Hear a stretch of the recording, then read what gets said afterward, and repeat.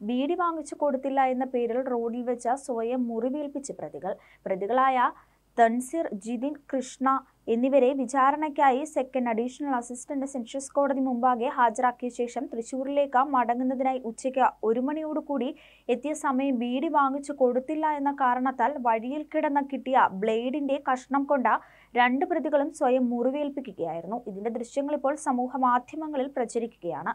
Ernakulam south railway സ്റ്റേഷന് മുൻവശത്തുള്ള റോഡിൽ വെച്ചായിരുന്നു സംഭവം നടന്നത്.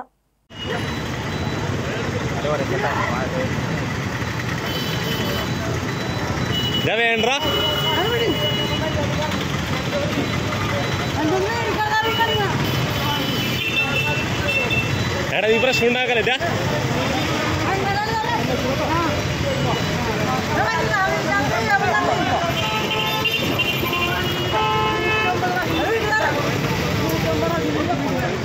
മാറ്റാ വലിക്കലേ നീ ഓന്